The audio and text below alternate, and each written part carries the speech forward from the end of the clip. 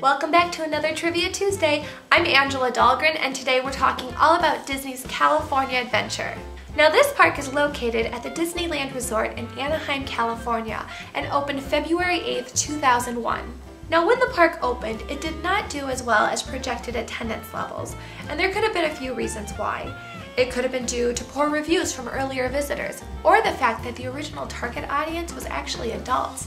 Therefore, instead of attractions, there were more restaurants and shops. So, new attractions were added over the next few years to help boost attendance. This included a major expansion that resulted in Cars Land and Buena Vista Street in June 2012. Now let's talk about some of these attractions.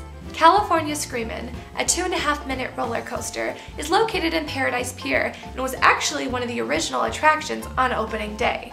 This roller coaster is no joke. You accelerate from 0 to 60 miles an hour in 4 seconds, and even though it looks like it's made of wood, rest assured it's actually hardcore steel. It's the longest roller coaster in the world with an inversion, and if you listen closely, you'll hear the voice of Neil Patrick Harris during the safety announcement.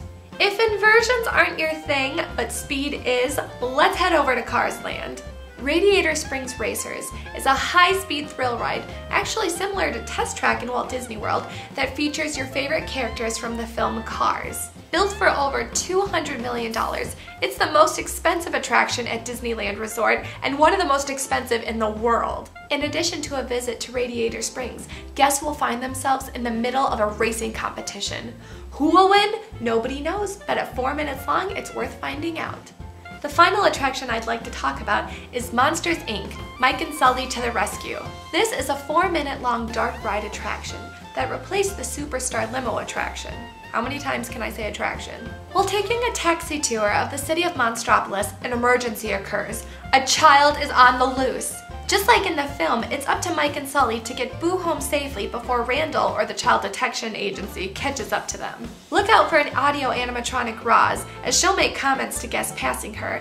And if you're visiting the Tokyo Disney area, there's a similar ride called Mike and Sully's Ride and Go Seek.